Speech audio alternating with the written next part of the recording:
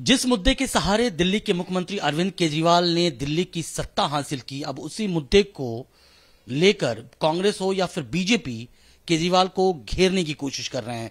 हमारे साथ बात करने के लिए हैं दिल्ली बीजेपी के अध्यक्ष मनोज तिवारी। मनोज जी फिक्स चार्ज को लेकर दिल्ली में काफ़ी रोष है और अब चुनाव का भी मौसम है तो लगातार ऐसा देखा जाए कांग्रेस हो या फिर आप, लगातार मतलब बीजेपी इस मुद्दे को उठा रही है। देखिए, हम लोगों ने इसके लिए, हम इसके लिए सड़कों पे भी उतरे थे। आपको याद होगा फिक्स रेट के खिलाफ।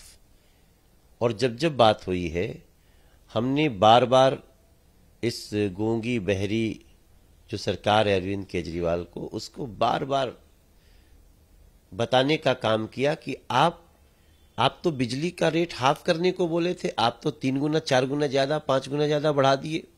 फिक्स रेट रख के तो ऐसी स्थिति में अब उन्होंने फिक्स रेट को बैक करना शुरू किया। हमारा कहना है कि जब आपने लगाया, उससे पाँच हज़ार करोड़ से ज़्यादा फ़ायदा सिर्फ़ बिजली कंपनियों को हुआ है। ऐसे फ़ायदा पहुँचाने में अब तो यह भी सवाल उठता है ना कि अरविंद केजरीवाल जी, आपका हिस्सा क्या है?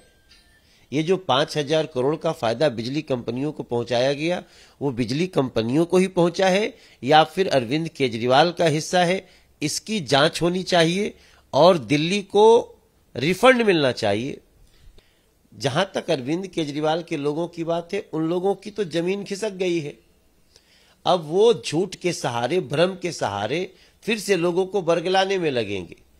हमें न तो कोई झूठ बोलने की ज़रूरत है ना किसी को बरगलाने की आवश्यकता है।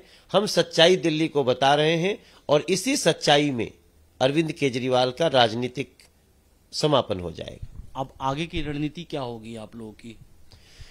हम लोग इन सारी दिल, दिल्ली का जो ये पैसा लूटा गया है बिजली के मार्फत हम इसके इसको कैसे रिफंड दिलाएँ कैसे उनके हम अरविंद केजरीवाल के हलक से छीन करके वो पैसा ला करके जनता का हक जो लूटा गया है वापस करें। हम इसके लिए हमने परसों दिन मीटिंग भी बुलाई है अपने पूरे प्रदेश की। हम इसके कंक्रीट योजना के साथ जनता की इस लड़ाई को ज़मीन पे रख रहे हैं। और अभी प्राइवेट कंपनियों ने ये कहा है कि जो उन्होंने फाइनेंशियल ईयर जो पेश किया है उन्होंने कहा है कि हमको घाटा हो रहा है। एक टाटा पावर ने कहा है कि हमको सौ करोड़ का घाटा हुआ है। दूसरी कंपनियों ने कहा है चौसठ करोड़ का है। एक ने कहा है एक सौ चौबीस करोड़ का घाटा हो रहा है।